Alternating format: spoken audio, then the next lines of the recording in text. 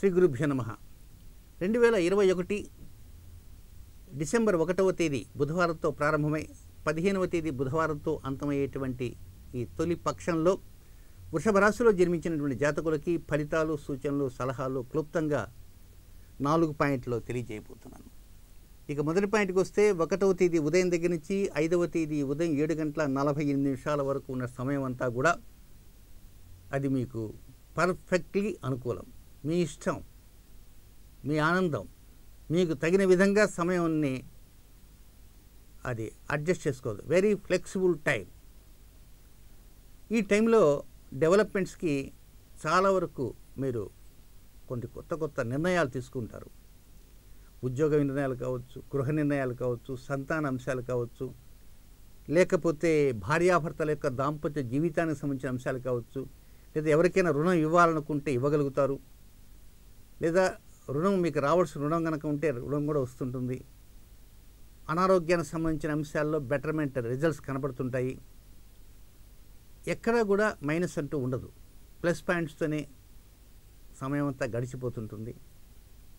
మిమ్మల్ని పలకరించేటువంటి వ్యక్తులు కొంతమంది ఉంటారు. ఆ పలకరించే వ్యక్తులు ఏం మాట్లాడుతున్నారు అనేది మీరు జాగ్రత్తగా గమనిస్తే మీ నుంచి వారు ఏమి ఆశించకపోవచ్చు. కానీ మీ నుంచి వారు ఆశించకపోయినప్పటికీ కూడా వారితో మీకు పని ఏదో ముఖ్య కార్యక్రమాలు ఉండవచ్చు.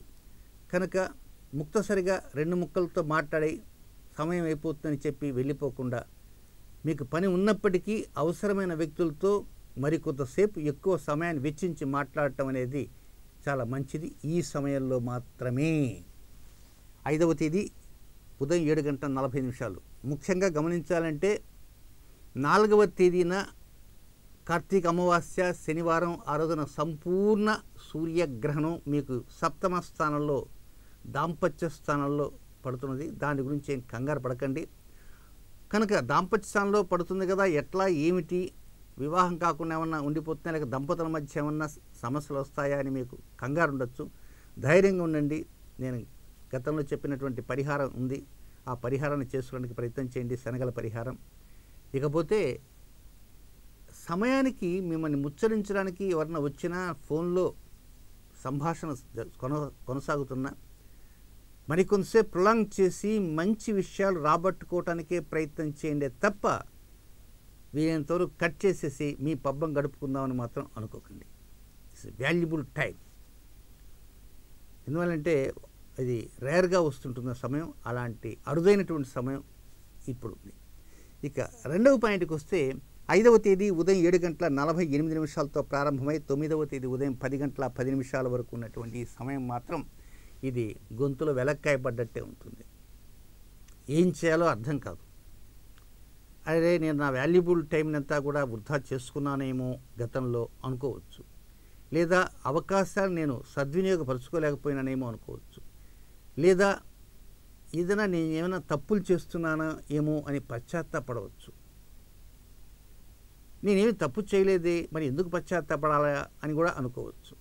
ఏదైనా గ్రహరాతి ఇలా ఉందేమోని అని సర్దుకుని వెళ్ళవచ్చు. ఏది ఏమైనప్పటికీ కూడా చాలా జాగ్రత్తగా మీరు చేసే ఉద్యోగము వ్యాపారము వ్యవహారాలలో సమస్యలు అనేవి కొంచెం పొంచి ఉంటాయి. ఆ సమస్యలను జాగ్రత్తగా తొలగించుకునేటువంటి ప్రయత్నంగా ఉండాలి. ప్రస్తుతం ఉన్నటువంటి కోవిడ్ రోజుల్లో ఉద్యోగం పోతే ఉద్యోగం దొరకటం కష్టంగా ఉంటుంది. వ్యాపారంలోనే చాలా వరకు జరగటంలే. కొన్ని వ్యాపారాలే ఎత్తేసారు ఆరోగ్యాలు చూద్దామా? అంతంత మాత్రంగానే ఉన్నాయి. కనుక ఇది సరైన సమయంగా భావించాలి. ఈ సమయంలో ఎవరితో ఎక్కువ మాట్లాడితే మనకు లబ్ధి వస్తుంది? ఎవరితో తక్కువ మాట్లాడితే మనకు లభ్య వస్తుంది? ఎక్కువగా మాట్లాడవలసిన వ్యక్తులతో మరింత ఎక్కువగానే మాట్లాడింది. తక్కువగా మాట్లాడవలసిన వ్యక్తులు మరింత తక్కువగానే మాట్లాడింది. అసలు మాట్లాడకూడదు అనుకున్న వ్యక్తులతో మాట్లాడకండి. పిలిస్తే పలక్కండి. ఆ విధంగా కొన్ని నిర్ణయాలు తీసుకోవడానికి ప్రయత్నం చేయండి. ఆరవ తేదీ ఆ రోజు సోమవారం పూర్వాషాఢ నక్షత్రం. ఎనిమిదవ తేదీ బుధవారం శ్రవణ నక్షత్రం. శ్రవణం అంటే మనకారకమైనటువంటి చంద్రుడి యొక్క నక్షత్రం. ఇక పూర్వాషాఢ నక్షత్రం శుక్రుడి యొక్క నక్షత్రం మీ రాశికి హెడ్. కనుక ఈ సమయంలో ఒక్కోసారి మన బంగారం ఏదైనా ఉంటే ఆ బంగారం అమ్మేద్దాం అమ్మేసి క్యాష్ చేసుకుందామా అని ఈ మనస్సు ఆలోచన చేస్తుంటుంది. లేదా ఏదైనా సరే వడ్డీకి ఎక్కువగా తెచ్చేసి డబ్బు తెచ్చేసి ఏదో వ్యాపారం చేద్దామా అని ఈ మనస్సు ఆలోచన చేస్తుంటుంది. అసలు మనకి వ్యాపారం ఎందుకు? ఒక ఉద్యోగం ఉంది కదా లేక ఉద్యోగం చూసుకుని సరిపోతుంది కదా మన ఉద్యోగంలో ఏదన్నా బెటర్మెంట్ లైఫ్ మనం కష్టపడితే ఇంకా బెటర్మెంట్ లైఫ్ వస్తుందేమోనే అని ఈ మనసు ఆలోచించవచ్చు. అంటే ఈ మనసు ఎన్ని రకాలుగా ఆలోచన చేస్తుంటే మీరు ఊహించలేరు అన్ని రకాలుగా మనసు ఆలోచన చేస్తుంటుంది. ఇన్ని రకాలుగా మనసు ఆలోచన ఆలోచన చేసినప్పటికీ మీకు పని కావాలి. పని కావాలంటే అవతల వారి సహాయ సహకారాలు ఉండాలి. కనుక తక్కువగా మాట్లాడవలసిన తక్కువగా మాట్లాడాల్సిన మాట్లాడండి. ఎక్కువగా మాట్లాడవలసిన వ్యక్తులతో ఎక్కువగానే మాట్లాడండి. అసలు మాట్లాడకూడదు అనుకున్న వాళ్ళతో ముఖం కూడా చూపించకండి. ఫోన్ కట్టి పక్కన పడేసేయండి. ఇది నిర్ణయం అనేది మీరు ఈ రెండవ పాయింట్లో గమనించండి. ఇలాగ మాట్లాడాలన్నా మాట్లాడకూడదన్నా తక్కువగా మాట్లాడినా ఎక్కువగా మాట్లాడాలన్నా ఎప్పుడు చేయాలి? ఆరవ తేదీ.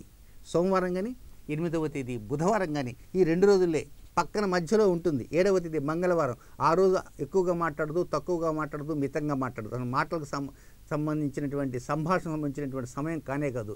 ఐదర్ సిక్స్ ఆర్ ఎయిట్ ఆరవ తేదీ లేదా ఎనిమిదవ తేదీ అనే గుర్తుపెట్టుకోండి ఇక నెక్స్ట్ మూడవ పాయింట్కి వచ్చేసి తొమ్మిదవ తేదీ ఉదయం పది గంటల పది నిమిషాలతో ప్రారంభమై పన్నెండవ తేదీ అర్ధరాత్రి వరకు ఉన్నటువంటి ఈ సమయం మాత్రం ఇది అద్భుతంగా ఉంటుంది. ప్రగాఢ విశ్వాసంతో మీరు ఉండవచ్చును. డెవలప్మెంట్స్కి పెట్టింది పేరుగా ఉంటుంది. ఏదైనా సరే సాధించాలా? ఎంత కష్టమైనా సాధించాలా? ఎలాంటి చోటుకైనా మనం వెళ్ళాలి. మనకు కావాల్సింది డబ్బు. ఆర్థికంగా మనం ప్రగతిని సాధించాలి. ప్రగతి పదంలో నడవాలి. ఎంతకాలం పాటు గోళ్ళు గిల్లుకుంటూ కూర్చుంటాం? అని మీలో మీరు క్రొత్త నిర్ణయాలను తీసుకోవాల్సినటువంటి సమయం ఇది. కనుక ఎప్పుడైతే మీరు ఈ సమయాన్ని సద్వినియోగపరచుకోగలుగుతారో భవిష్యత్ అంతా రాబోయేటువంటి రెండు వేల ఇరవై రెండు డెవలప్మెంట్స్కి పెట్టింది పేరు. పునాది రాళ్ళుగా డెవలప్మెంట్స్ వస్తుంటాయి. ఏమిటిలే ఇది? రోజు మార్చి రోజు జరిగిపోతుంటుంది. తెల్లవారితే ఏదో మరొక వారం వస్తుంది మరొక డేట్ వస్తుంది అనుకొని జరిగేది ఇది జరగక మానదా అనుకొని మనసు ఒక్కోసారి చెబుతుంటుంది. అది మనసు కోతి దాని మాటలు నమ్మకండి. ఎంచేతనంటే మీ రాశిలో రాహు సంచారం జరుగుతుంది ఆ రాహు ఎవరో తెలుసా? ఆ మనస్సు అనేటువంటి చంద్రుడికి పక్కనే ఉండేటువంటి ఒక బిందువు. ఆ బిందువే మిమ్మల్ని ఇబ్బంది పెడుతుంది మిమ్మల్ని మోసం చేస్తుంది. కాబట్టి మీ చంద్రుడు మీ మనస్సే మిమ్మల్ని మోసం చేస్తుంది. మీ మనస్సే మిమ్మల్ని నష్టాలు పాలు చేస్తుంది. మీ మనస్సే మిమ్మల్ని తప్పుదారి పట్టిస్తుంది. మరి ఏం చేయాలండి ఈ సిద్ధాంతగిరి అంశంలో బుద్ధి బలాన్ని ఉపయోగించాలి. బుద్ధి బలాన్ని ఉపయోగిస్తేనే ఈ పాయింట్లో మీకు డెవలప్మెంట్స్కి చక్కటి అవకాశాలంటూ అంది వస్తాయి. ఇక నెక్స్ట్ మూడవ పాయింట్ అయిపోయింది. నాలుగవ పాయింట్కి వచ్చేసరికి పన్నెండవ తేదీ అర్ధరాత్రి దగ్గర నుంచి పదిహేనవ తేదీ అర్ధరాత్రి వరకు ఉన్నటువంటి సమయం అంతా కూడా ఇది ఖర్చుకు సంబంధించినటువంటిది. మీ టైం టేబుల్లో పదమూడు పద్నాలుగు పదిహేను ఈ మూడు రోజులు కూడా ఖర్చు ఉంది. ఈ మూడు రోజులు కాగానే ఇంకా పండగ నెల పెడతారు. కనుక ధనుర్మాసం ప్రారంభం అవుతుంది వీళ్ళు ధనుర్మాసం ప్రారంభమైందంటే ఆ పూజలు పునస్కారాలు ఉంటుంది. సూర్యోదయం కాగానే ఒక సూర్యోదయానికి ముందే ఆలయాల్లో ధనుర్మాస పూజా కార్యక్రమాలు ప్రారంభమవుతాయి. సో ఏది ఏమైనప్పటికీ ఇది సమయం వృధా చేసేటువంటి సమయం ఈ టైం. డబ్బు ఖర్చు చేసేటువంటి సమయం. ఒక్కోసారి బ్యాంక్ నుంచి డబ్బు డ్రా చేస్తుంటే ఉన్న పలంగా తీసుకుని ఇంటికి వద్దామంటే మీ అంతటా మీరే మధ్యలోనే ఏదో ప్రకారంగా మనీ పర్స్ వదిలేయటము లేక ఎక్కడో పెట్టి దిక్కులు చూస్తూ ఉండటము లేక కారులో పెట్టి లాక్ చేయకుండా అటు ఇటు తిరగటము మీ అంతటా మీరే చేసేటువంటి కార్యక్రమాల వలన నష్టపోయేటువంటి అవకాశం వస్తాయి. కనుక డబ్బుకి భద్రత ఏర్పరచుకోండి. చేతిలో ఒక డబ్బే కాదు ఒక సూట్ కేసు కావచ్చు. లేదా ఇంటి నుంచి బయటకు వెళ్తూ వీలైనంత వరకు లాక్ ఒకసారి ఒకటికి రెండుసార్లు చూడండి. లేదా ఊరికి దగ్గర వేస్తే పక్కింట్లోనే పరంధామి గంటలు మాట్లాడి ఒక రెండు నిమిషాలు వద్దామంటే ఈ లోపల పరంధామి గంటకు మీరు వెళ్తారు ఈ లోపల ఇంకొక ఆయన లోపలికి వచ్చేస్తారు తీసుకొని వెళ్ళిపోతాడు. కొంత చోరీకి కూడా అవకాశాలు ఉన్నాయి కనుక ఈ సమయం మంచిది కాదు. ఈ సమయాన్ని సద్వినియోగపరచుకోండి. లోకాభిరామాయణం చెబుతూ అనవసర వ్యక్తులతో మాట్లాడటం వృధా ప్రయాస. అవసరమైన వ్యక్తులతో ఒక్క అర నిమిషం మాట్లాడినా భవిష్యకాలంలో లబ్ధి అనేది ఉంటుంది. పోసుకోలు కబుర్లు చెప్పేవారు ఉంటారు. వారితో గంట మాట్లాడినా భవిష్యత్తులో ఒక్క రూపాయి రాదు. కనుక కొన్ని ఆలోచన చేయండి. బయటికి వెళ్ళి లాక్ చేసుకోండి. లేదా మీ సెల్ ఫోన్ ఉంటే ఆ సెల్ ఫోన్కి ఒకసారి లాక్ చేయండి. వాల్యుబుల్ సమాచారం తరలి వెళ్ళే అవకాశం ఉంటుంది. లేదా మరొక చూసే అవకాశం ఉంటుంది.